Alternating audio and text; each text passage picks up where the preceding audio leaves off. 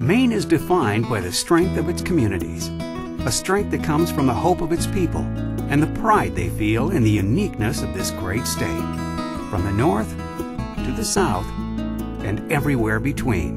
Savings Bank of Maine supports the hopes and dreams of Maine families, as it has since 1834, all by building relationships one at a time. Put your trust in a local bank invested in Maine and its people. Savings Bank of Maine.